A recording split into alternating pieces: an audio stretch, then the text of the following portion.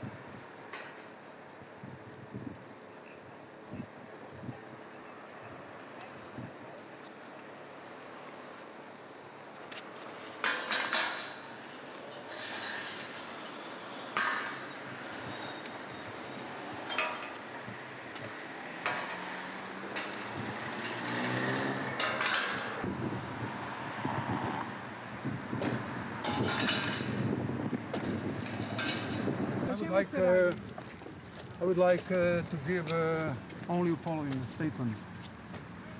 After consultation with the Milosevic family, uh, I have officially insist that the autopsy not be carried out in The Hague, but in Moscow.